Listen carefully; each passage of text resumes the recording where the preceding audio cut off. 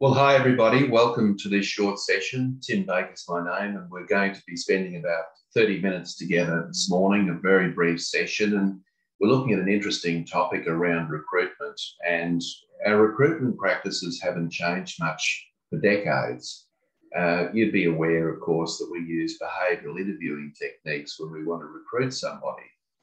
Now, that makes a lot of sense in a very predictable environment. So often, what we do in interviews is we ask people, you know, if they can explain a situation where they had, you know, to do such and such, and that such and such is very much related to the work that the person is being recruited to do.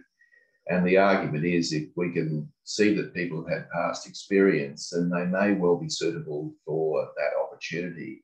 Trouble is, of course, the workplace is changing so quickly that by the time the person settled into the job, the job has changed and the person then has to develop a whole new skill set.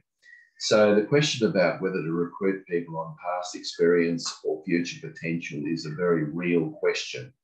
And I'd like to address that one today um, with you.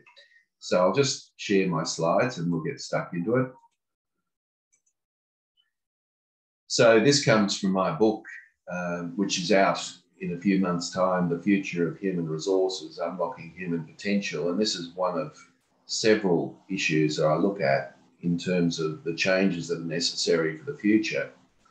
So just a little bit about me in case you don't know who I am. Uh, I I'm a keynote speaker, I'm an author, and uh, I've written approximately 15 books at this stage. Uh, this one that I'm talking about today is my latest book. You can see that I also am executive coach and I still play rugby in the Golden Oldies competition here in Brisbane, which is probably a little, little ridiculous at my age, but never mind. We only play every second week just to make sure we recover. so that's a bit about me. I won't go on and on, on, but it gives you a bit of a sense of who I am. Now, one of the objections that people would have to a topic like this is that um, isn't behavioural interviewing the best way to select the right candidate for a vacant job? Now, that's a good question. And it has been the conventional way that we select people because if we can find out what people have done in the past, and if what they've done in the past is very commensurate with what they need to do in the new job, then it makes perfect sense, doesn't it, that that person who has the best match is the right candidate. But as we all know, and we've just been through COVID, or you know, coming out of COVID at least, the world is changing at such a rapid rate that this approach is now becoming fast redundant.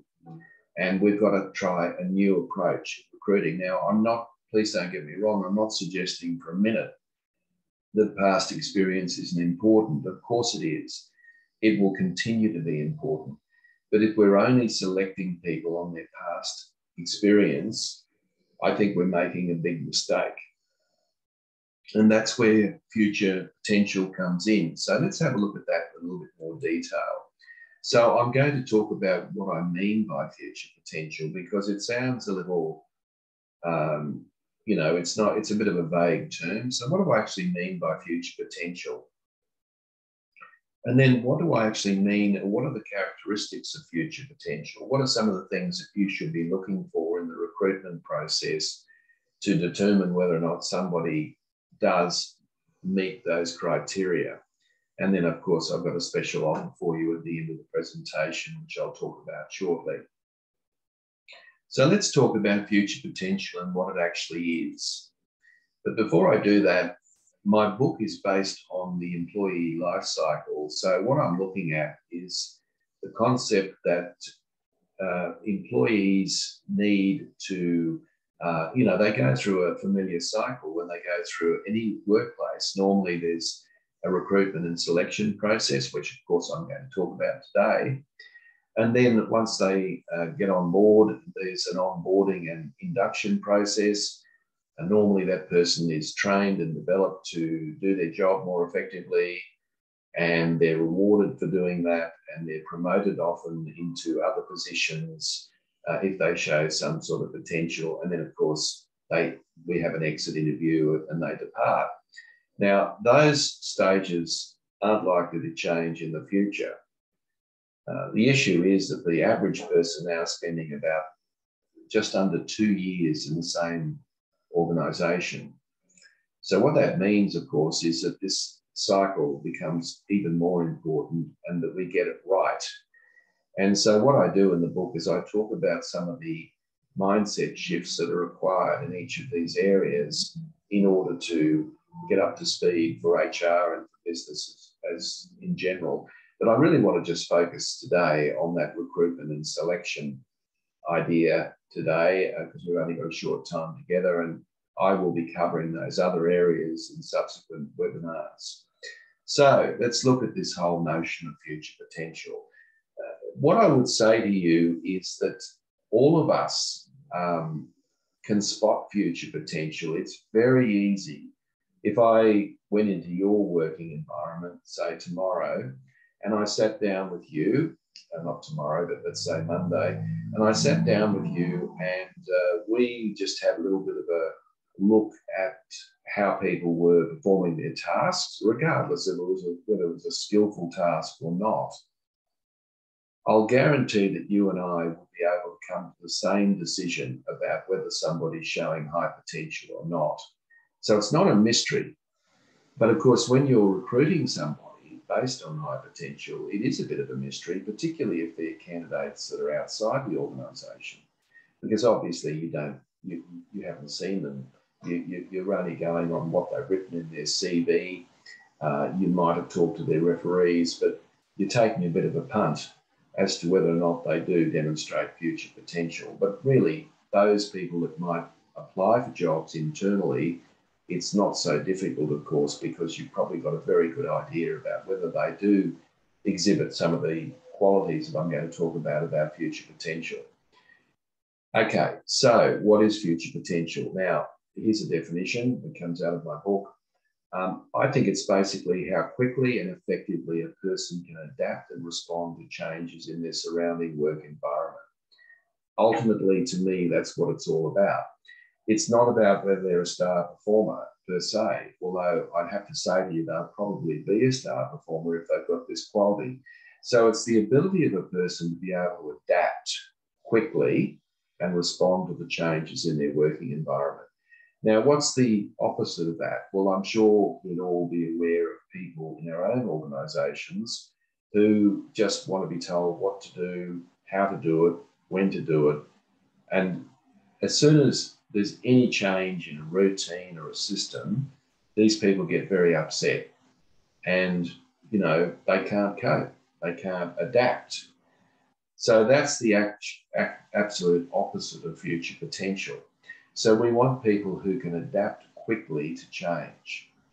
So if we can find out whether people have that capacity to adapt quickly to change, then we're obviously in a you know, we're very much unearthing what future potential is. Now, of course, if in an interview you say to somebody, can you adapt well to change? Uh, which is, of course, a closed question, they're, they're probably going to say yes. But whether they can or not is another question. But that's ultimately what we're aiming to do because the world is changing so quickly. We need people who are resourceful, adaptive. We also need people who are agile. Those are the key qualities we're looking for in this whole area. So let's break that down a little bit and look at it in a bit more detail. Now, some of the X factors, if we can call it that, are these things.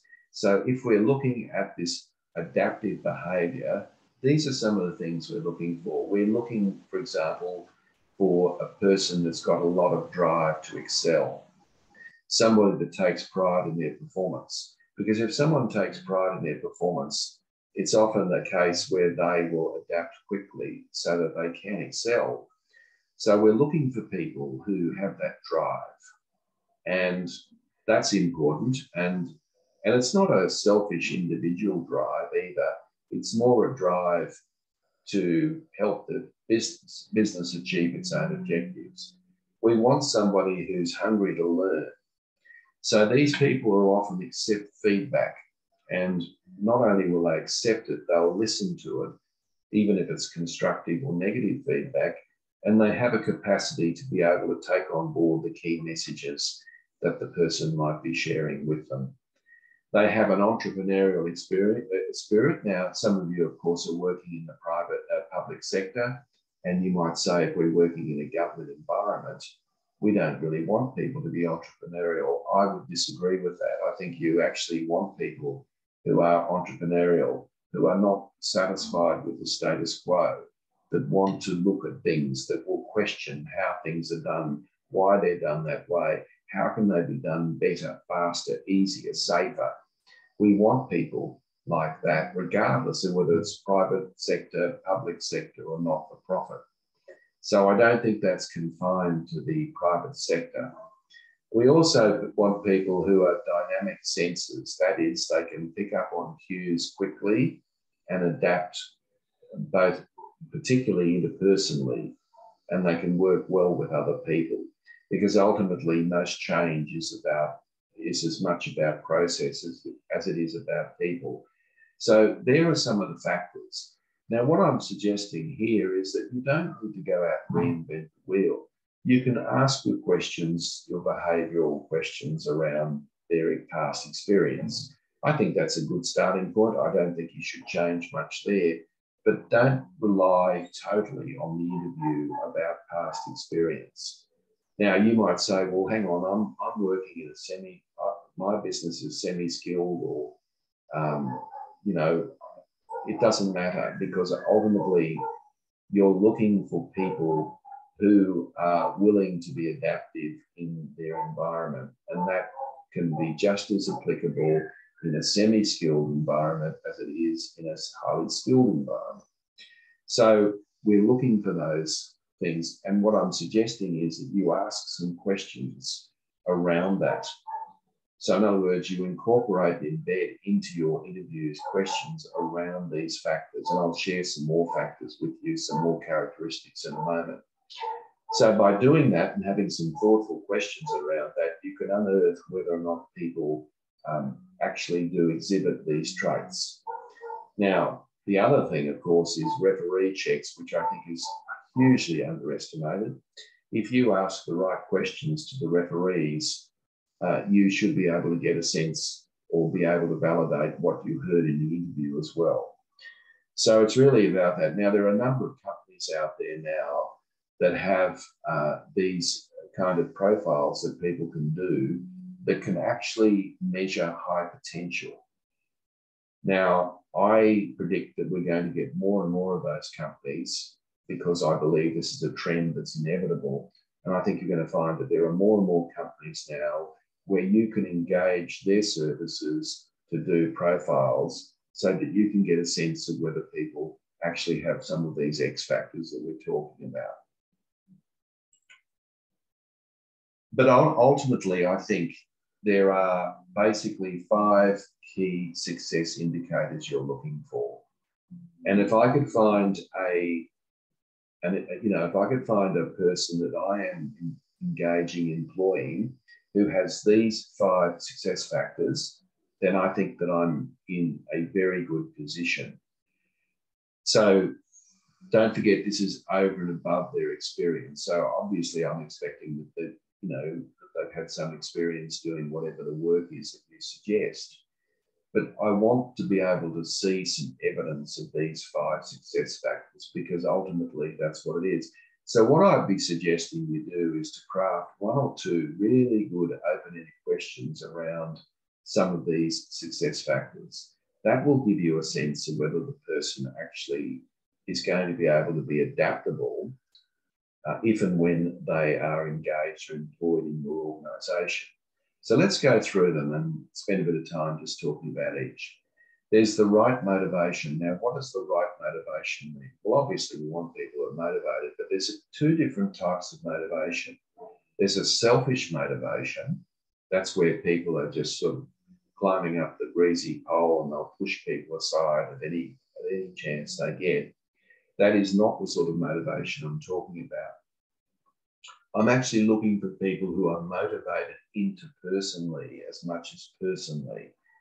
In other words, they are striving to achieve with and through other people, not just in their own way to get all the glory.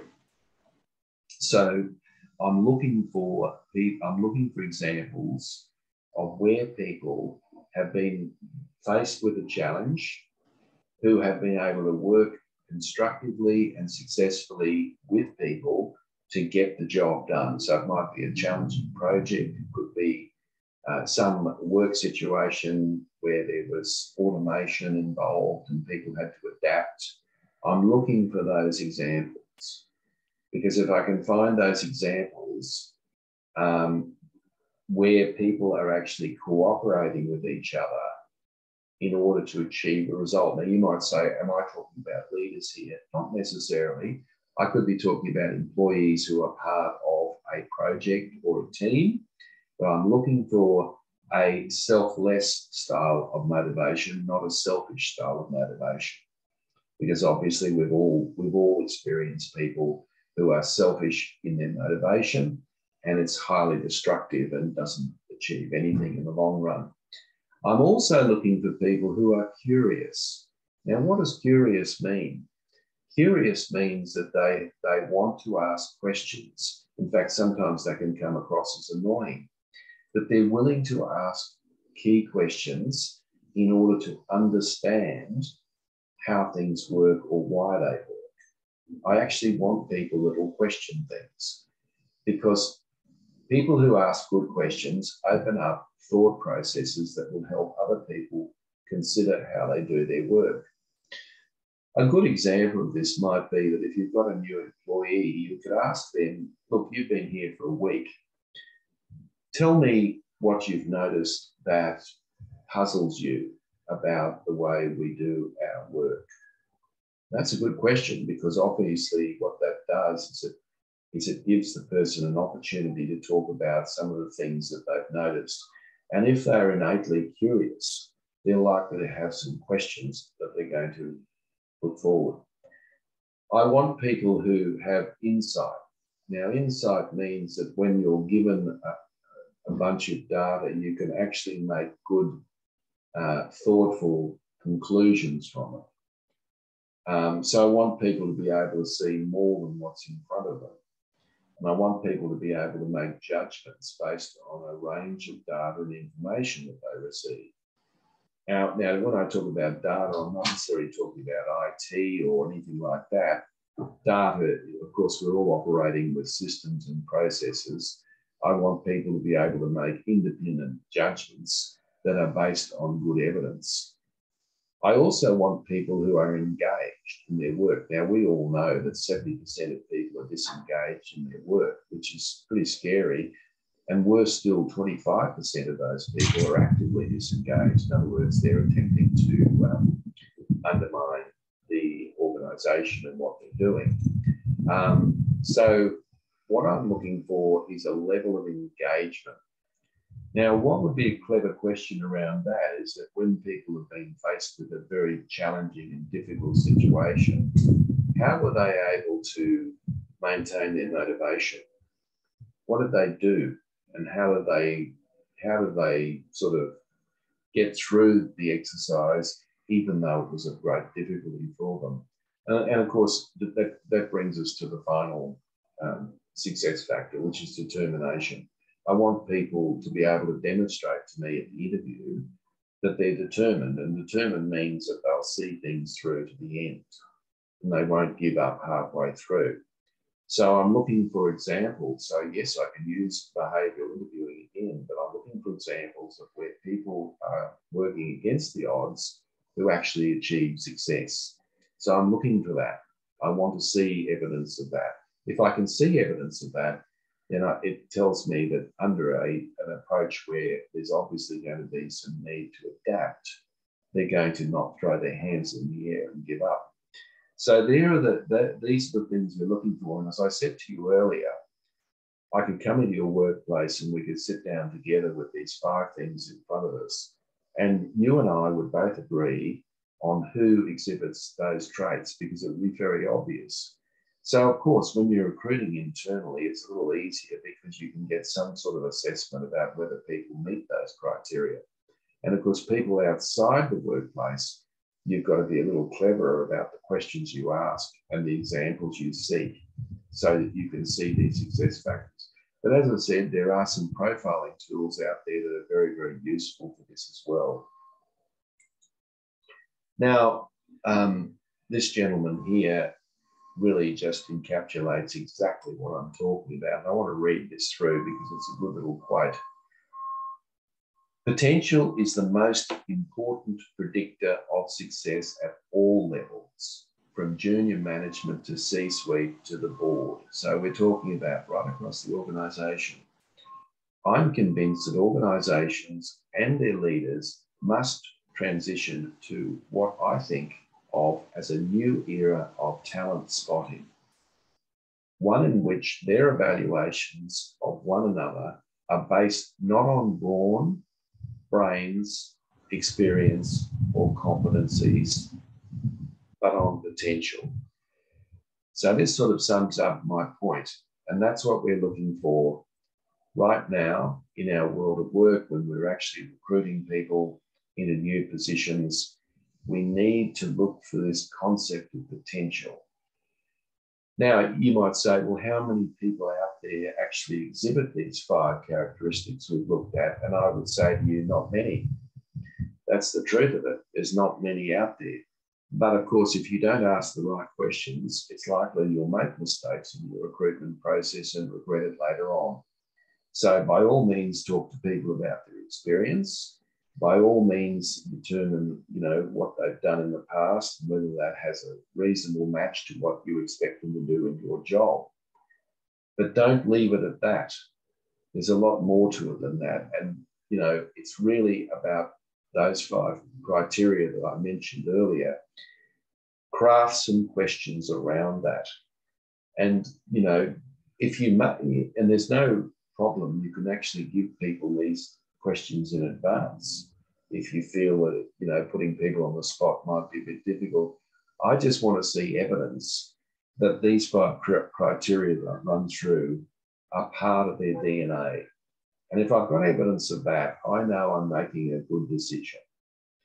And uh, because it means that, of course, when your business changes, and it will inevitably, and has, and will continue to do so, you have somebody who is able to adapt. And if you've got someone that's able to adapt, they're going to be an asset to your business. And that's ultimately the bottom line of this. So, what are the takeaways here? I'd say one takeaway is use diagnostics to measure potential. And you just have to go onto Google, and there's a couple of good ones that I mention in my book as well that I highly recommend. And just just check them out and see what they have to offer. Um, because normally we, we don't we, we do personality profiling, we do you know we do IQ tests, we do all sorts of things at the recruitment stage. So to add another diagnostic would not be a problem if we did that. Um, but if you didn't want to go down that road, it's not a problem. All you need to do is to ask questions at the interview and to the referees that are based on future potential. So I've given you the five ingredients of that. All you've got to do is craft some questions around that. And if you can do that, what you're going to do is you're going to actually determine whether or not that person would be classified as high potential. Now, the other thing I'd suggest is that you offer L&D programs to foster the, attrib- the attributes of, uh, of of future potential. So your workplace, I'm not sure how it operates, but you should try to incorporate some programs in there that really promote the things that I've been talking about. Because obviously you're trying to grow potential internally as well as recruit externally as well. So I think your L&D learning and development program should foster that as well. So they're the takeaways, folks. And uh, if you've got any questions that you'd like to ask, drop drop me an email. I'm happy to respond to those questions. No problem at all. What I would say just before we finish up is that next week I'm going to talk about hybrid working. Now, hybrid working, I believe, is here to stay. Basically, you know, we have been moving towards a remote environment for a long time. Now, I know some of the work that you do, people have to be on site. I get that. But not all office workers uh, necessarily have to be on, on site. And I believe hybrid working, that is, working in the office and at, and at home, is now something that is permanent. And therefore, I want to look next week at the challenges and opportunities that that, uh, that offers. And uh, so, you know, there you go. The link is at the bottom. You just have to click on that link and it'll take you into that. Yeah, you'll be registered just as you did today for that topic. So remember, every Friday I have one of these topics that goes for about 30 minutes. And finally, I have a special offer for you, and that is my book's coming out in a couple of months. If you'd like a copy of The Future of Human Resources Unlocking Human Potential, uh, just send me an email and I will be able to give you that for half the price plus postage. And uh, it's, I think it's advertised now on Amazon, but it's not available. But it will be, I'll be receiving a batch of them as soon as the publisher's ready to go. And I'll send you a copy, I'll sign it, and uh, away you go. So that's my little offer for you today. So you just have to send me an email by close of business today. I'll register you and away we go. So that's it from me, folks. Um, I'm done. So I'll be sending you a copy of the slides and the recording, and you'll get a copy of that fairly soon. So check your inbox. I've also got a number of other interesting topics coming up over the next few weeks, and you might like to have a look at those topics as well. Um, thank you, Craig. I always enjoy your feedback. Thank you. it's nice. It's, it just indicates that I might be doing something right here. So thank you. Um, so I look forward to catching up uh, next week. And uh, thank you, everyone. All the best. Have a wonderful weekend. And we'll catch you hopefully next Friday. Thank you and goodbye.